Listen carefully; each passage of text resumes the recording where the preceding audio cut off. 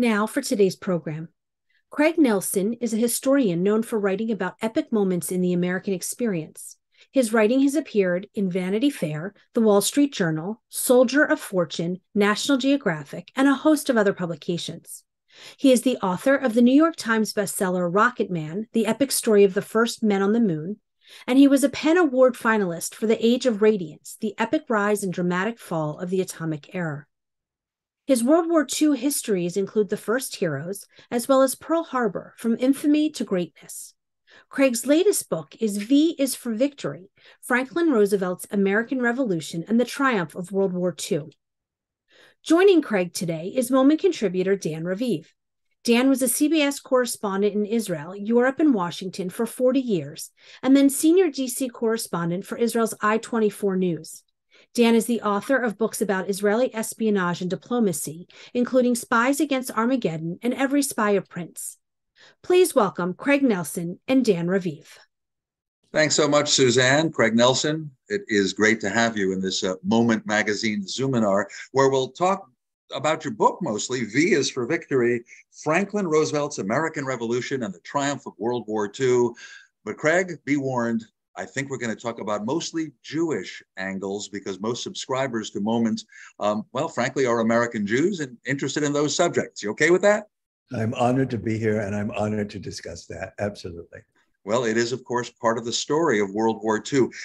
Your focus is, I would say, America waking up. You describe America, oh, especially when Franklin Delano Roosevelt was first inaugurated as president in March of 1933, as being uh, poor, asleep, uh, dejected, uh, still in the depression, uh, the economic depression. And of course, that's what society was like too. And over the more than 12 years that FDR was president, um, well, like you say, the country woke up, defeated the depression, managed to win World War II.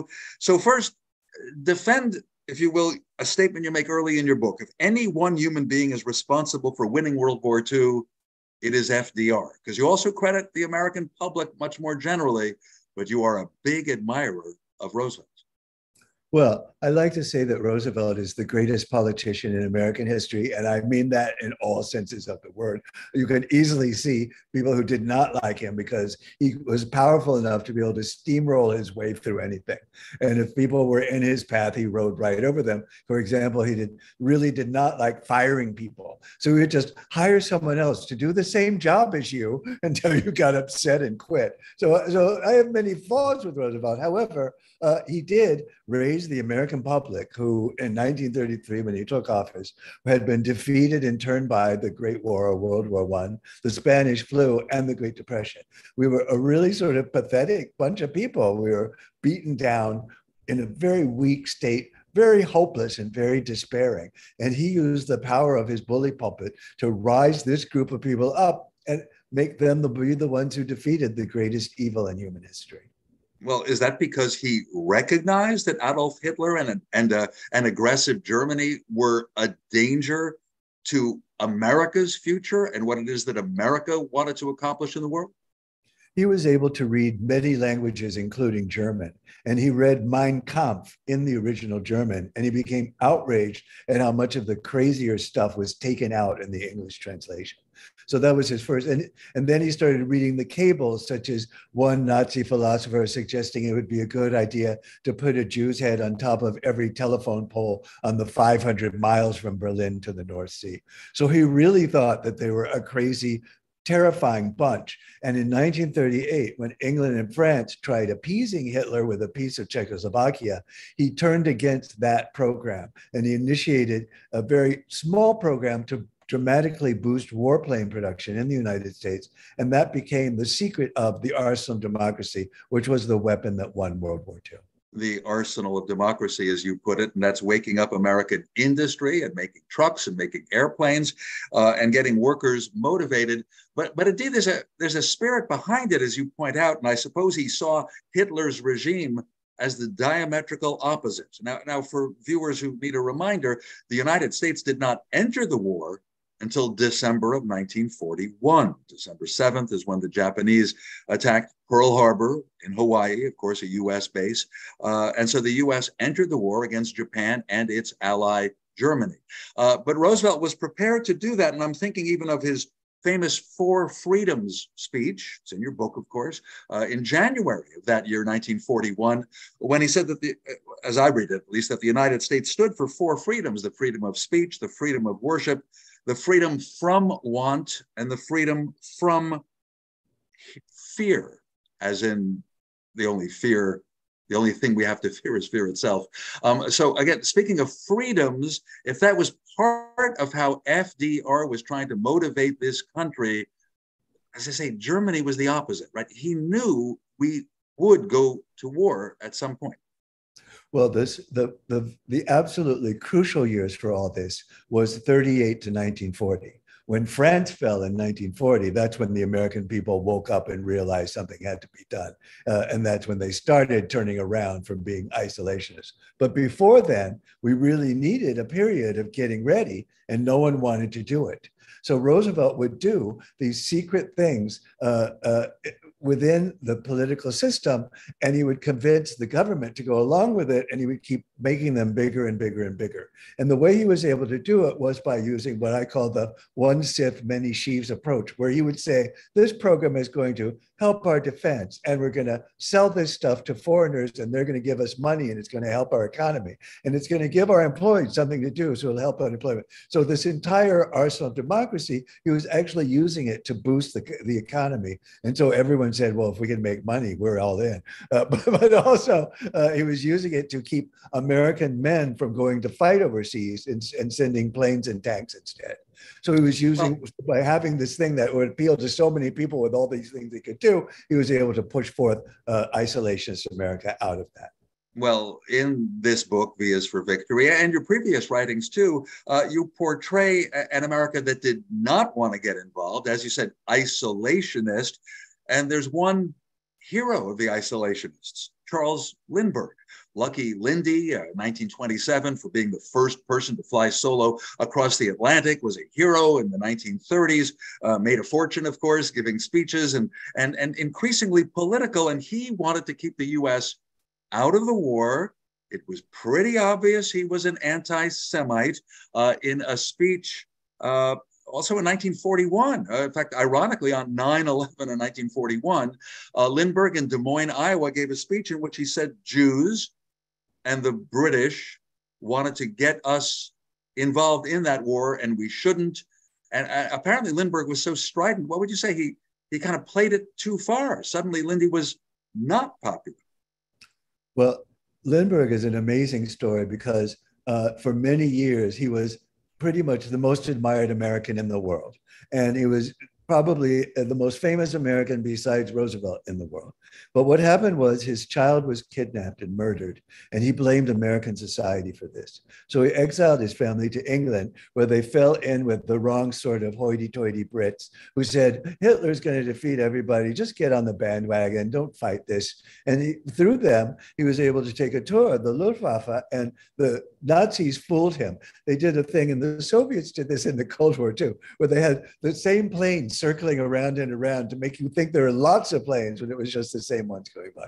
So uh, even though he didn't have any real reason to believe this, uh, Lindbergh started publicly saying that uh, Hitler's going to win. It's foolish for America to even think of fighting him. Just give up and go home. And he started publicly doing this. And he and Roosevelt got into what was called the Great Debate, where they would each make lectures and speeches on the radio and Americans could follow along and watch the development of foreign policy as it regarded the war in Europe. But Lindbergh was even crazier than we know. After Roosevelt won his third term, uh, Lindbergh said, Democracy is over in America. The only thing, the right thing to do is to take away voting rights from Black people. And if the Jews think things are bad in Germany, wait till they see what might happen to them here. So he was even much worse than we publicly knew until recently. Now, again, keeping in mind for Americans who forget, the only person ever elected president four times, the only one ever elected more than twice, now we have term limits, was FDR, was Roosevelt in 1932, 36, 40, and 44, just to you know place it all in, in, in context. Now, did I did I get it right from your book, though, that Lindbergh's speech and his America First committee that might remind some of our viewers as to things going on in US politics now. But Lindbergh, the isolationist, did he go too far in that speech and other things? Or you'd say basically FDR won the debate in their radio speeches and editorials? Well, so while Lindbergh is making these harsh anti Semitic comments, uh, Roosevelt is talking about how if your next door neighbor's house is on fire and you have a nice garden hose, wouldn't the right thing to do be to lend him that garden hose? So while Roosevelt is elevating the American public into doing the right and good thing. Lindbergh is playing on crass hatreds and doing the good thing one.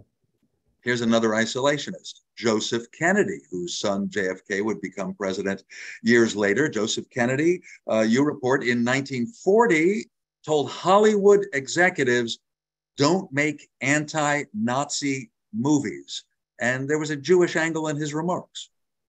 Yes, uh, there is many people have this theory that if the Jews did anything against the Nazis, it would be uh, they would it would spur anti-Semitism in the United States. And even though this wasn't never turned out to be true, people kept using that excuse over and over again. So Hollywood was a particular target of this, and they would in fact be investigated by a Senate committee of isolationists to find out who was making such movies as The Great Dictator. But that committee would fail, and part of it would happen when Roosevelt said, "You know, I believe the Bible was written by foreign-born and Jewish people," to sort of undercut their argument. So, would you say Roosevelt in that period that we're talking about, arguing against Lindbergh, arguing against that congressional committee. Was Roosevelt a, a pro Semite, a philo Semite? Uh, what, what label can we put on him in this regard? Oh, absolutely. It was he had the most Jews in his uh, cabinet and in his administration of anybody. The Secretary of Treasury was Jewish. Uh, Felix Frankfurter was on the Supreme Court. A major economic advisor was Bernard Baruch. And in fact, people would use that against him and claim that he was secretly a Jew, that his real name was Rosenbaum, and that the Jews were going to take over the United States and and uh, uh, uh, so the fact that he had so many Jewish associates was held against him many times. So we have a period in the U.S. of rampant anti-Semitism. Again, viewers, think about what's going on in the U.S. lately that you might be concerned about. But back then, a period of rampant anti-Semitism, and one of the big issues was the claim by anti-Semites that American Jews wanted to get us involved in the war. Uh, is that right? I mean, that came up in a lot of broadcasts by anti Semites like uh, Father Coughlin on the radio. Uh, that was a theme of theirs. Jews want to send us to war.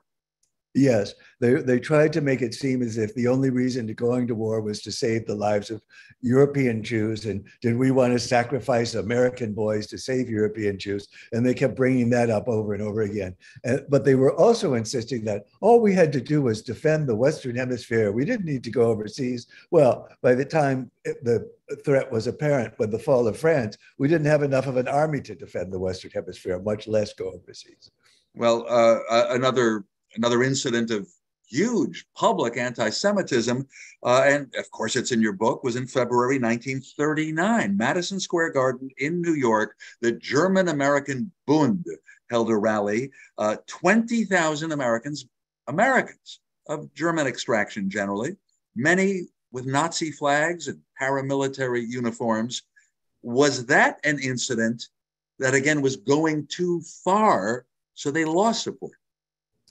Not really. Uh, at that time, you had a situation. I mean, here that Bund rally was in New York City, which is so inconceivable today. But also, there was a, a huge German American influence in the Midwest, such as the Chicago Board of Censors would censor anything that might be mo- remotely attributed as anti-Nazi. They even put through a film that the Nazis produced saying that they had to invade Poland because the Poles were such vicious people, they were going to attack it any minute, and they had to invade them to defend themselves. So there was a sense of anti-Semitism going on all this time, and it was quite lurid and public. A, uh, uh, a preacher was at a meeting at the State Department and he said, You know, I think the good Lord drowned the round bunch in the Red Sea for the Ten Commandments. And it's just horrible public statements like this.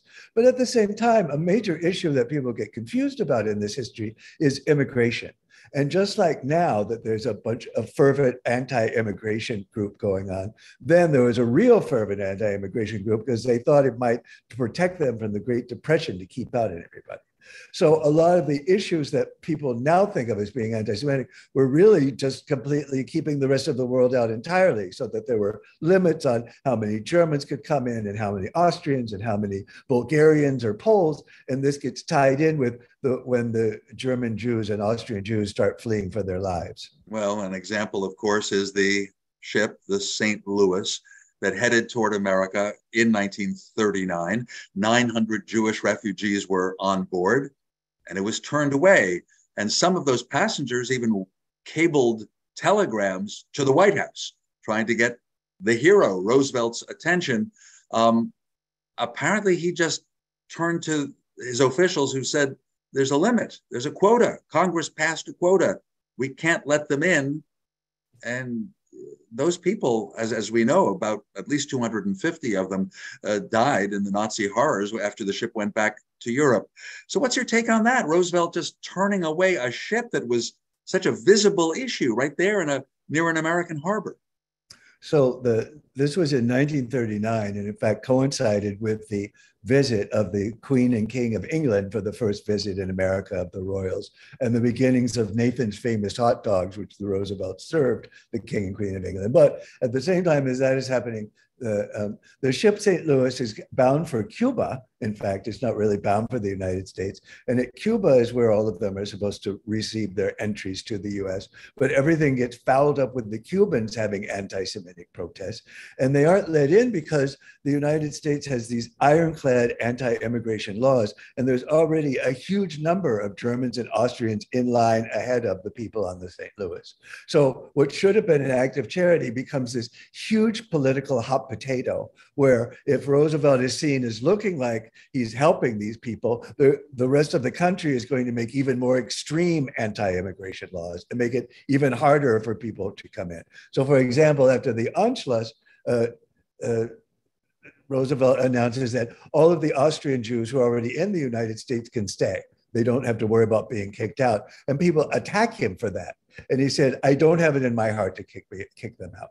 So that, that's an even more extreme story than the St. Louis to me. Of course, considering the, the Anschluss meant that Germany just uh, absorbed Austria and it became a Nazi country. So you're pointing out some place where Roosevelt was a little softer than the regulations might require. And yet, that incident, the St. Louis, that ship, is still brought up 84 years later, sometimes by very active American Jews who, on the one hand, know that Roosevelt, well, everything you wrote about, uh, ended the Depression, led the United States through a successful war, inspired Americans. And yet, again, if you will, from a Jewish angle, they point to the St. Louis.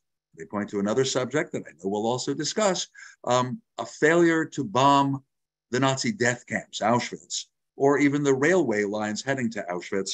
I don't know if that decision ever came to Roosevelt's desk. Anyway, feel free to answer both of those together because, again, in the year 2023, where we are right now, I still hear those criticisms of Roosevelt, American Jews who say he was really great, but. Well, one of my favorite research topics in this book is the question of the bombing of Auschwitz. And this story begins with the Czechoslovakian government in exile sending a message to the White House saying you really should bomb Auschwitz. And the Jewish World Congress replying, no, don't bomb Auschwitz. They were worried that the doing so would give ammunition to uh, the Nazis saying, oh, look, the, the Allies are killing Jews too, because definitely more Jews would be killed in the bombing of Auschwitz. And the second question was, well, even if it was bombed, where would the Jews who, who escaped go? There was no way for them to get out. They were surrounded by Poland. They were surrounded by Nazi-held Europe from all the way to the Atlantic Ocean. They were in Poland. There was really no place for them to go. And the same story happened with Churchill investigating the bombing of the rail lines to Auschwitz. So if they were, even if they were successfully bombed, it would still be killing many Jews overhead with the bombs. And by knocking out the railways, they could only affect maybe three days of people going to the camps. The Nazis had become very good at, under the threat of Allied carpet bombing, rebuilding things at a tremendous rate, and they would have gotten those rail lines back up in three days. So that was the argument, which played out intercontinentally. But the underlying issue to all that, excuse me, is that the Nazis held all of the continent of Europe. The death camps were in the middle of Europe. the only way to really do anything for the Jews during the Shoah was to invade the Nazis, as we did at Normandy in 1944. Before that, there was really nothing we could really do.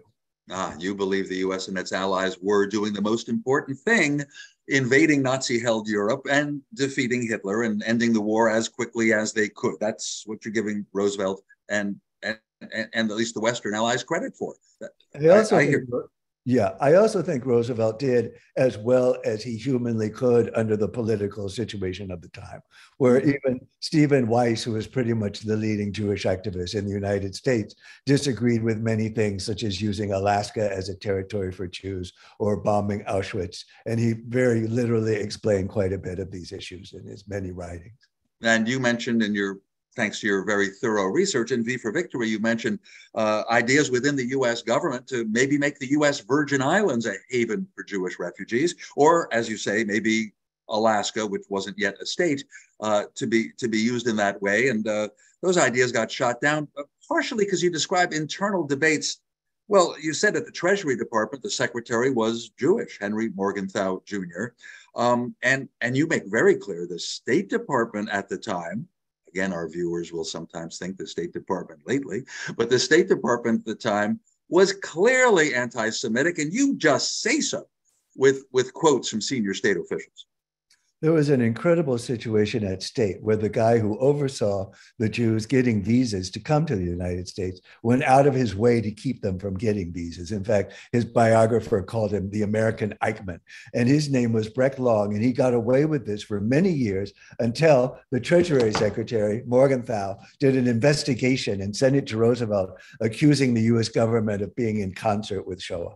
So that woke up Roosevelt. He established the War Refugee Board. They saved about 200,000 through primarily Raoul Wallenberg, but that didn't happen until very late in the war. Well, okay, I, I hear you. And by the way, the uh, the title of that document that the Treasury staff under Morgenthau put together is amazing. The title of this government document report to the secretary on the acquiescence of this government in the murder of the Jews and it accused the State Department of doing so. By the way, since you mentioned so much Treasury and State, um, the uh, rapidly growing Department of War, later Department of Defense, uh, did you get a feeling about their attitude toward Europe's Jews? Uh, I actually don't know that they had much of an attitude. The, the story with the War Department is that in 1933, in the 1930s, uh, we were fort, our military was 14th in size in the world. We were between Portugal and Bulgaria. Uh, we couldn't afford to let people practice bombing with actual bombs. They used bags of flour instead. Those were known as Betty Crocker bombs. And if you were training to be in a tank, uh, you, we'd only produced 33 tanks by the 1930s. So to train in a tank, you marched down the road with your four other people in your tank and pretended to be in a tank. And then the really lucky ones got to use least good humor ice cream trucks and to pretend to be in tanks. So we were really an ox cart that needed to be a jet plane to defeat Hitler. And so the entire Army and Navy and Air Corps were focused on purely military issues and sort of fighting over the economics of what the civilians would get and what the military would get. Okay, so neither you nor your cat, who's on the sofa behind you, uh, has a belief that that the War Department was actively anti-Semitic or going to Europe in order to save Europe's Jews. No, no, they were going out there to defeat Hitler and fascism, as our commander in chief Roosevelt told them to do. While there was a Pacific War raging and that's why it was called the Second World War. And, and by the way, sometimes people also forget where we were when, when Roosevelt was sworn in in 1933 with the Depression still underway. The First World War had, had only been ended 15 years before that. People, there were lots of people who remembered that war and, oh, we have to go into it again. I mean, no wonder the reluctance. Uh, right? I mean, that, that would be part of the mild isolationism like World War One didn't settle much for the U.S. There was a regret that we were involved in right. World so, War One. Right. So you have World War One ending 1919, immediately followed by the Spanish flu, which is killing off tens of millions of people, immediately followed by the Great Depression. So to me, Americans were in this completely defeated, beaten down state in the 1930s when all this starts happening. One of my most uh, heartbreaking stories in that period is a little girl's at school and she bursts into tears. And the teacher says, What is it, honey? What's wrong? And the little girl says, I'm so hungry. I can't even listen to what you're saying. I just can just think about food all the time. And the teacher says, It's okay, honey. You can go home and eat. And the little girl says, I can't. It's my sister's turn to eat. What a so, poor country. You know, imagine Americans living like that. And that was very common of children being dropped off at orphanages because their parents couldn't take care of them. And these were the people who were going to defeat Hitler. It's a story you couldn't make up. Well, as we've mentioned, Craig Nelson, um, it was uh, it was the attack on Pearl Harbor by the Japanese that drew the U.S. formally into the war. So December 1941, and so the notion of of saving Europe's Jews, you know, being maybe one of the goals, at least felt by some Americans and certainly by American Jews when they heard what was happening to their brethren, but they weren't hearing a whole lot. Um, in your book, you you say a key moment was was was newspaper reports, you know, coming out of Europe, and the New York Times quoted one in just five paragraphs November 1942. The US was already in the war, and it mentioned, the New York Times did, Hebrew language newspapers were reporting on the systematic killing of Jews. In other words, any place that the Nazis had taken over, they were finding the Jews, locking them up, killing them. Um, and this was about Poland the first time, and then the Times noted that the State Department had confirmed that the Nazis murdered about half of the Jews in every territory they conquered and that would mean 2 million, uh, just unthinkable, 2 million Jews murdered. So tell me, because a lot of this is in your book, that even Jewish organizations, even Supreme Court Justice Felix Frankfurter, when getting a briefing on this, couldn't believe it. Well, if you think about it, the depth of the Shoah was so tremendous, it does define human comprehension. So that although the Americans were well informed about it by 42, primarily through Edward R. Murrow, who was a great radio star of the time and who reported from London and who had a hugely successful show. Uh, so people were knowing the basic facts of it, but they couldn't comprehend it. They just couldn't understand how this could be happening. And as you mentioned, one of my favorite stories illustrating this is that the Polish embassy in exile invites Felix Frankfurter, a Jewish man who's on the Supreme Court, to meet a survivor of one of the Polish camps. And the survivor tells the story, and Frankfurter says, right out, I don't, I can't believe you. And the Polish diplomat says, What are you talking about? He's just told you this story. What do you, he's not lying. He's, and Frankfurter says, I didn't say he's lying. I said, I can't believe it. And that's what many people felt until the, the photographs and movies came back. Which, of course, means a long time later. So even those who now criticize FDR, criticize the Allies for not hitting the railway tracks, to the best of your knowledge, that the Nazi killing machine aimed at Jews was that large, that extensive, that systematic, was not fully understood until, say, uh, you're right about this too, the future President Dwight D. Eisenhower, the main commander of the Allied troops, after concentration camps were liberated, saw what the Nazis had done. Right. Uh, Eisenhower did a really amazing thing. He forced groups of senators and congressmen and journalists from the United States to come see the camps to forced. make sure people would not forget the camps. And forced, they, invi- invited, urged. You said forced. Forced. Well, I guess you're saying Eisenhower, uh, even before becoming president in 53, uh, was such a, a hero that if General Eisenhower said, You've got to come and see this, that's what it was like to a senator or a congressman. Yeah. Well, it was also news media organizations wanting to stay favorably uh, in touch with the soldiers winning the war. So, so there was a reason for this, but he was able to force people to come and see the death camps. And they published a number of articles called Lest We Forget. Lest we forget. Okay. And, and when we think about it in an honest way, and I, I, don't know if you deal with this thought in your, I don't think you deal with this thought in your book, Greg, um, whether just as the war was ending, people like General Eisenhower and indeed President Truman, who had taken over from Roosevelt after he died, of course, um, they, they had to justify what the United States had just done. What was this victory all about? And so before getting around to the business of rebuilding Europe through the Marshall Plan, um, and, and helping Germany, uh, divided Germany, West Germany, uh, become a democracy. Long before that, I think the first order of business was to justify to the American people what we just did, paint all the GIs as heroes, of course. But would you agree there's a measure of justification, including, therefore, the mass murder, the Shoah, the Holocaust? Well, to me, the reason for winning the war was the Holocaust. But I think in 1945, the reason people were uh, uh, happy about winning was to spread American values across the world instead of fascist values. That it wasn't, uh, you know, Tojo had attacked us, uh, uh, uh, Hitler and Mussolini were threats.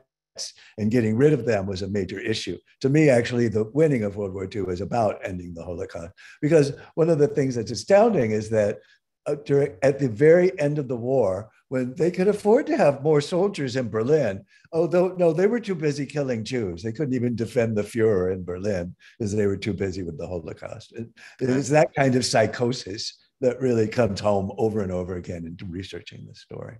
And as for Americans getting it, earlier we spoke about Hollywood for a while reluctant to make anti Nazi films. But once the US entered the war, popular culture including Hollywood films and film shorts made for the War Department, seen in all the movie theaters across America. And how about one of my favorite topics, comic books, right? Captain America in a Marvel comic is punching Hitler in the face. So pop culture was helpful. The, there was a.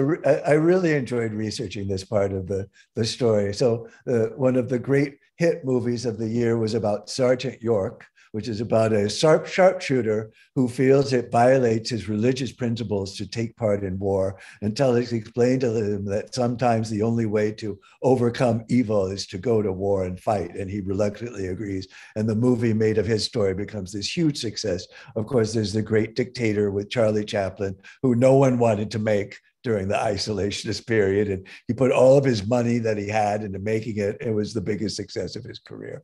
And obviously, so, obviously spoofing Hitler because that's one weapon against a dangerous dictator. Make fun of him, right? Right. Uh, uh, Chaplin appears as both Hitler, a parody of Hitler, and as a, a, a Jewish shopkeeper whose uh, house is full of kittens and who has anti Jewish graffiti on his windows. So you're seeing it brought home to Americans in many ways. Mrs. Miniver about uh, people surviving the Blitz. Uh, the, the war sort of comes home, and these become very popular. Churchill's speeches are a hit on the bestseller list. Uh, so see it extend out in every direction. Well, there's the obvious sacrifice during a war of our boys and some of our girls going off to fight, take part in the war effort, you know, based in, in, in England and then going into Europe. Then, of course, you have the Pacific Theater. In other words, we have so many men at war. That's America feeling a sacrifice. Many were dying, of course. Wounded were coming back. Um, but what other sacrifices were there? Uh, as you said, during the Depression, we felt poor during this whole process of going to war, there was more money flowing and more jobs and more work. Women had to fill in often jobs that were traditionally done by men. Uh, what sacrifices were Americans called upon to make because we were at war? I don't feel that we did a lot of sacrificing besides the deaths in combat because American corporate profits doubled from 1940 to 1945.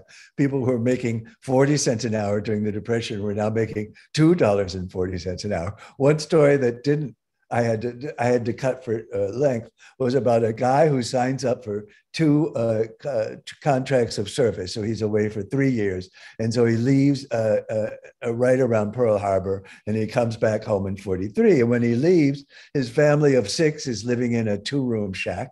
And when he comes back, his family says, You needed to tell us earlier you were coming home because we need to schedule our vacations to be able to see you. Everyone has their own house, they're all on vacation. You know, the, the revolution and the economic status of Americans is extraordinary. and it's really seen in the whole Rosie the Riveter saga. One of my favorite things of researching this book was handling a rivet gun, which is basically like a machine gun that throws bolts. So the idea of women, you see this mythological figure of a woman so strong she can handle this gun.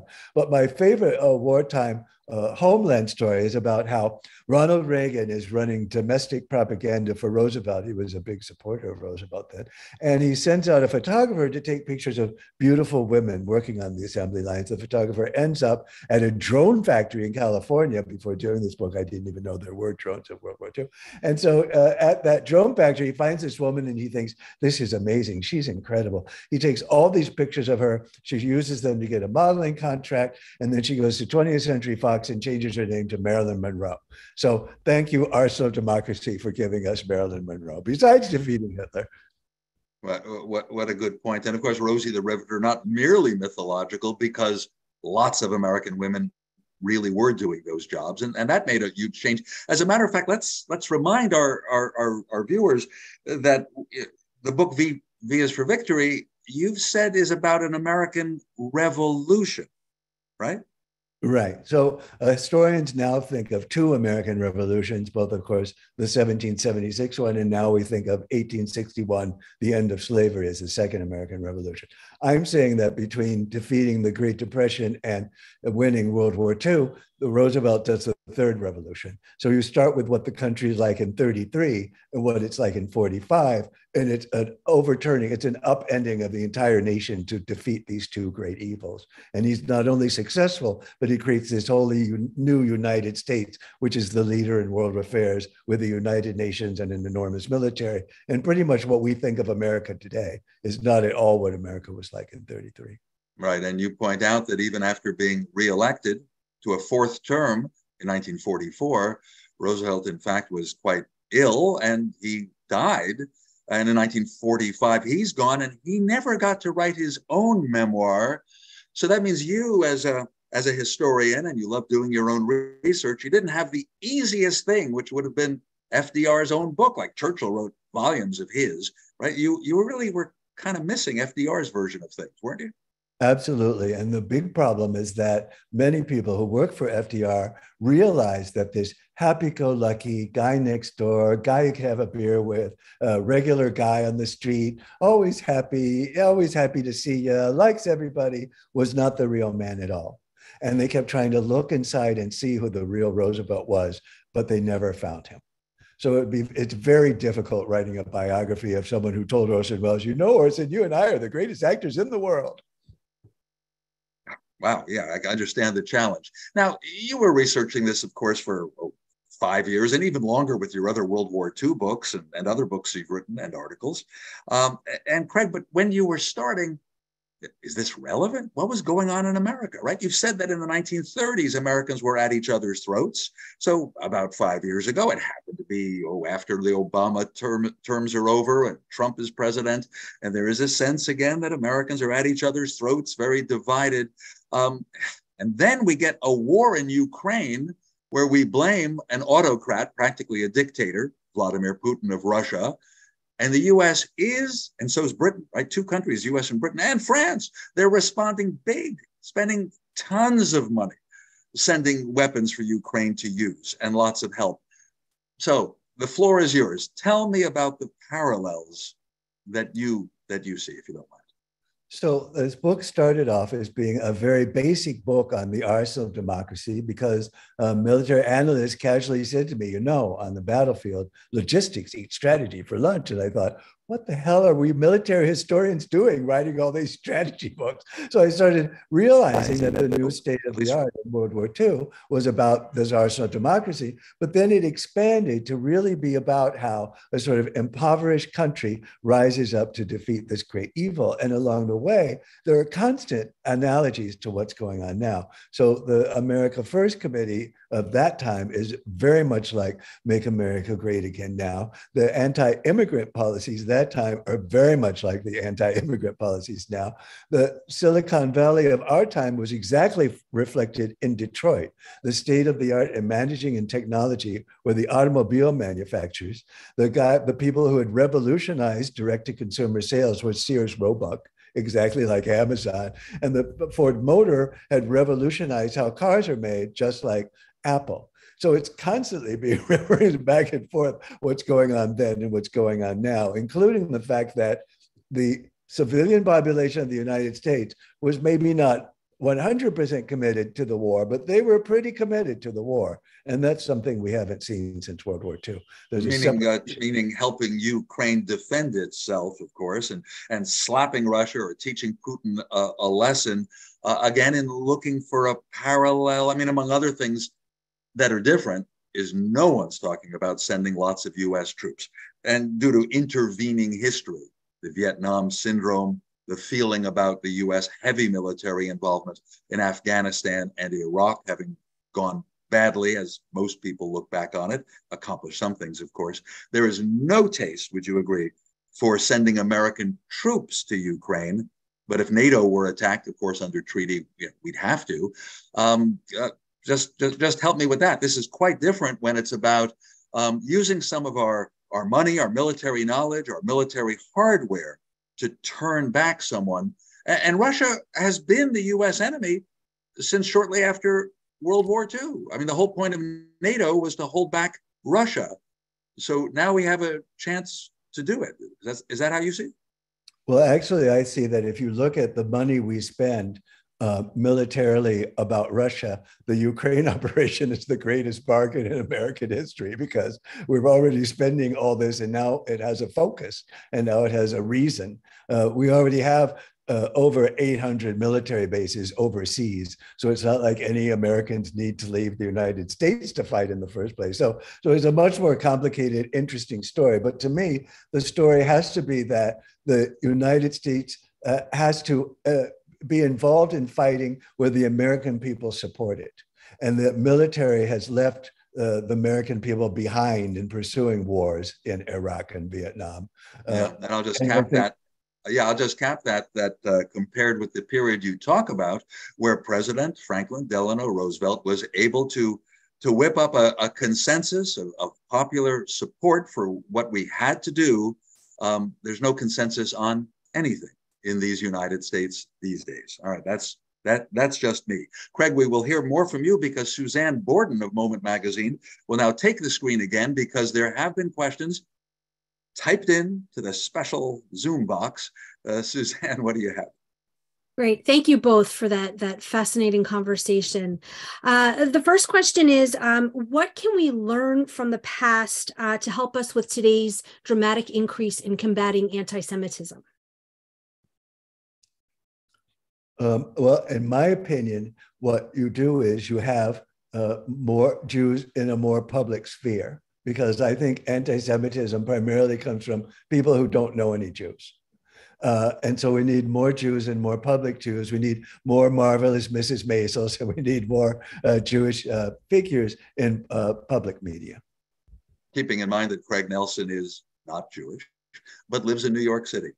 So, and I am chosen adjacent chosen adjacent, many, many, many acquaintances, friends, and fellow New Yorkers. Of course, of course. I have a rabbi.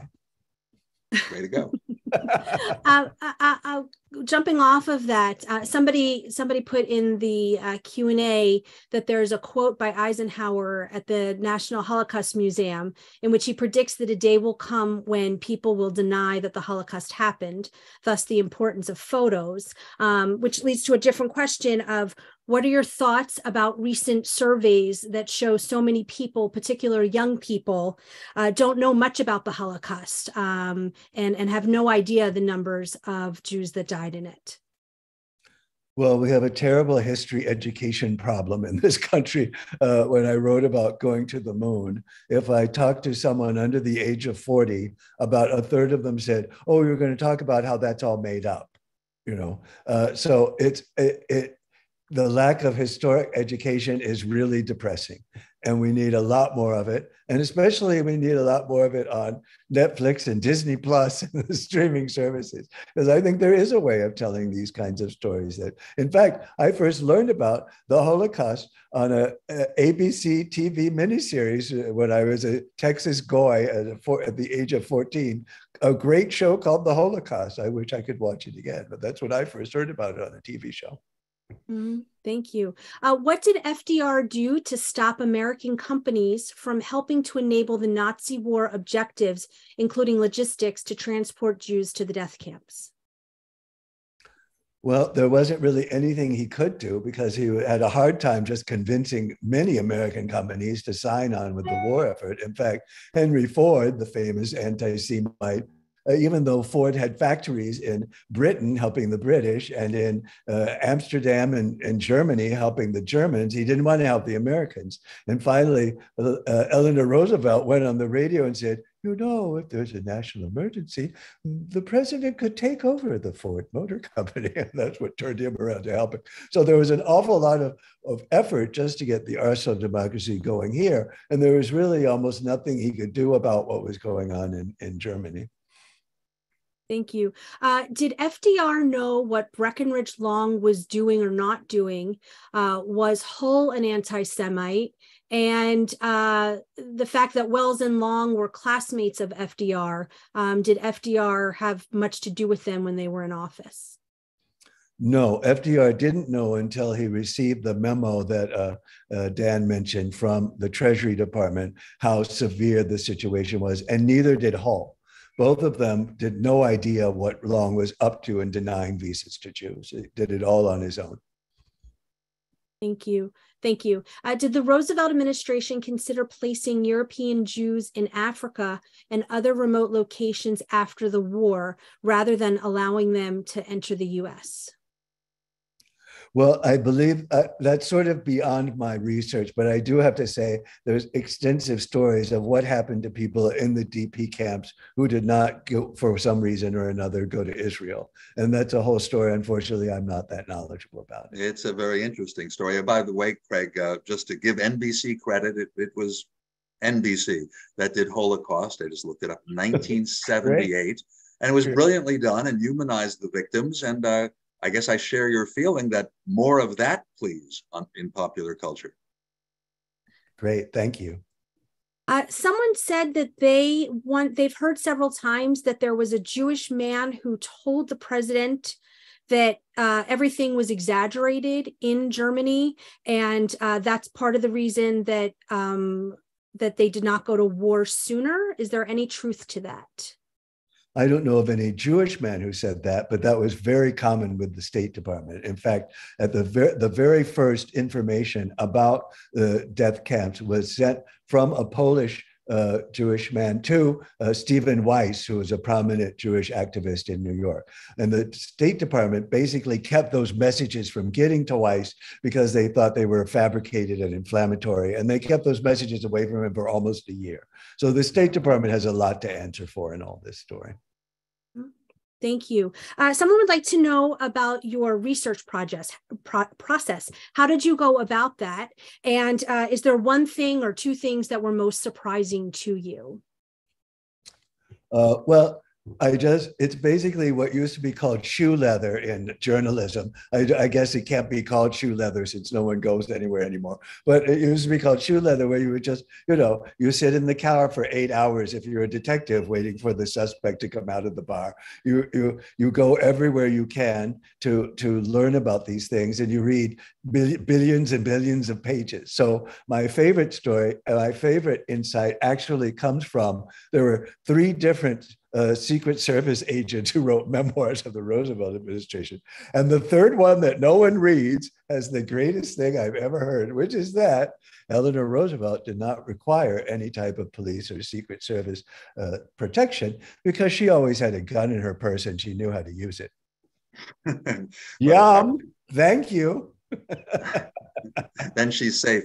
Thank, thanks, Suzanne. I have a couple more for, for you, Craig Nelson, if you don't mind. And, and it's but it's still on uh, it's still on that issue of how to try to get at the truth, right? If you're if you're writing history and there aren't many living witnesses still available, uh, correct me if I'm wrong. When you wrote Rocket Men about, uh, well, you might say the race to the moon. Uh, and by the way, did that become a TV series? I know there's some streaming. I don't know if it's based on your book.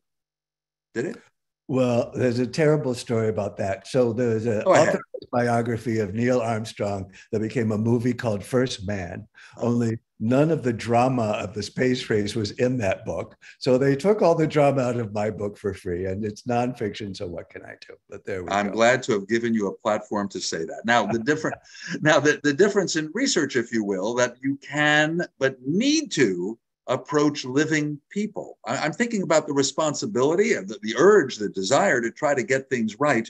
If there are still living witnesses and participants, then you got to work that you, you got to be Mr. Charming, right? To get them to participate and, and cooperate with you as opposed to memoirs and newspaper articles. True?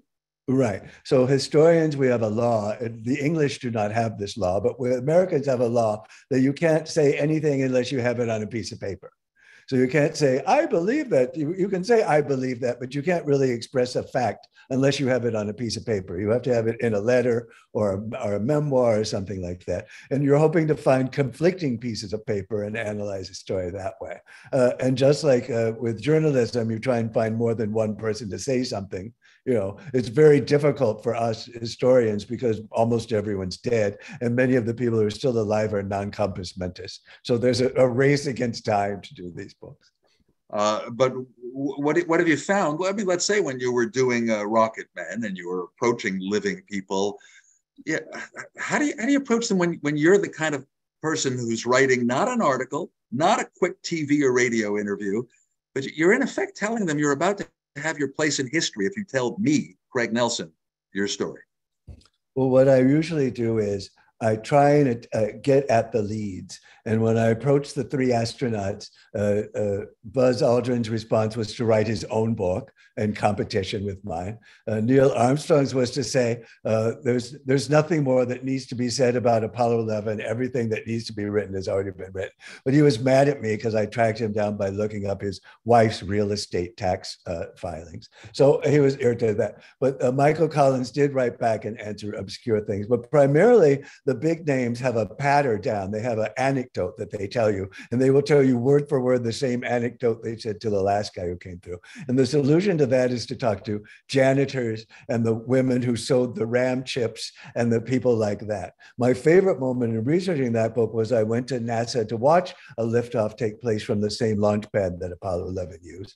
And the woman running the thing, a, a, military PR woman whose job was to keep me from knowing things, uh, showed me a map of the places I could sit. And they were all three and a half miles away. And I said, Can I sit closer? And she said, Well, sir, if an accident happens on the pad and the rocket explodes, it will do so with four fifths the power of an atomic bomb, sending 100 pound pieces of shrapnel for a radius of 3.2 miles. So NASA prefers that it gets it 3.5 miles away how interesting that they love numbers, but yeah, those kind of people do.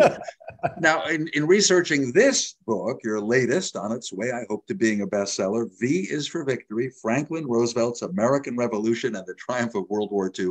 In researching V for Victory, um, you also, you already mentioned that one of your favorite research moments was holding a riveting gun. So you'd get a better understanding of that iconic poster and, and, and postage stamp. Uh, anything else come to mind that you, again, you were researching this how how FDR managed to achieve a, a revolution and wake up America from its poor depression. Um, I mean, so you knew what you were going after, as you said, arsenal of democracy and logistics and trucks and planes. Uh, maybe there was a moment that turned you around to, to say, oh, it's all about a hero, Roosevelt.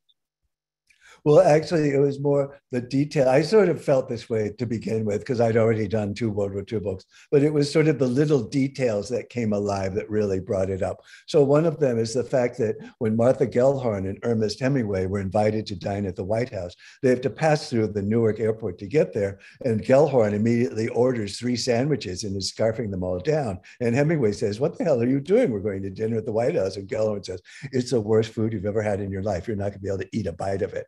And Hemingway, he starts scarfing down sandwiches too. So they arrive there, and it's absolutely true. It is the worst food anyone has ever eaten, and uh, Eleanor will do nothing about it to fix this. Uh, uh but the other story is that uh, the FBI surveillance files on Eleanor Roosevelt is something like the biggest FBI files in the world. And I didn't accept the explanation that she was left and he was right. So we had uh, all these agents following her all the time. I thought there must be something else to it. So I went into their correspondence and I found out that while Eleanor was relentlessly on top of J. Edgar Hoover for things she didn't like the FBI was doing, every time he asked her to speak at the FBI, she said no. So I she then followed her because he was mad about her turning down his invitations. It's a J. Edgar Hoover story. I'm sure you've got lots more about all of this. Uh, I'm thrilled to have spoken with you, Craig Nelson. Best of luck with the book. And we go back to Suzanne. Thank you. I, will say I did enjoy the part of the book where you were very specific about some of the dishes that they were serving, and um, I don't know how anybody stomached them. Um, lastly, uh, what is next for you? What are you planning on writing about? What do you What do you hope uh, to do to share history with us in the future? I still have two more months of promotion. I go to Washington for the Arlington Library and the Pentagon, and then I go to FDR Library, and then I do a New York Historic Society show here in the park. And so I'm just doing that, and I have no idea what's happening next. I hope I survive. well, we'll, we'll, we'll look to uh, the future to see what else you um, are inspired to write about. Uh, again, Craig Nelson, I want to thank you. Thank you, Dan Raviv. The book is V is for Victory. I encourage everybody to take a read. I put the link in the chat so everybody can find that. I'll be sending out a follow up email in a few days that will include a link to this recording, and I'll also uh, include again the link to the book. Please go to Moment's website at momentmag.com to sign up for next week's program about, about Bep and Anne Frank. And again, thank you all for joining us, and we'll see everybody next time. Thank you. It was an honor. Thank you. Bye-bye. Thank you.